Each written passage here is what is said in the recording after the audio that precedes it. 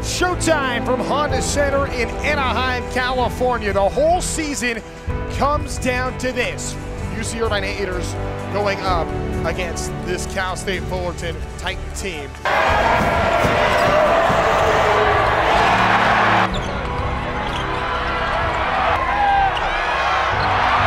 For the first time since 2015, UC Irvine is going to play in March Madness.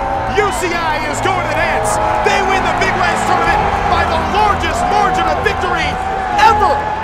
They will play the number 13 seed out of the Big West, UC Irvine's Anteaters. They win the Big West regular season title and tournament title, and Clark Kellogg likes them a lot. I really do. I like the way this team defends and rebounds, and the Anteaters are positioned to do some damage this season.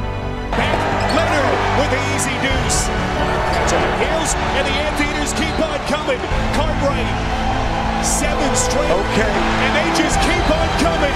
Nine straight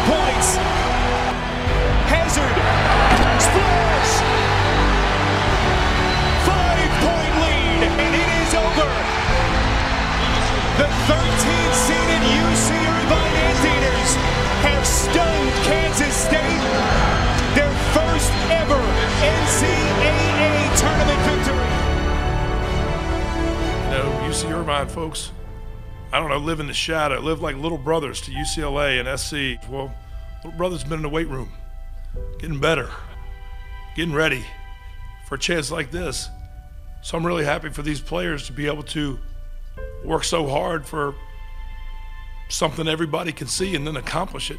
But I'm also really excited for the fans of our program who also seem to have endured feeling like little brothers.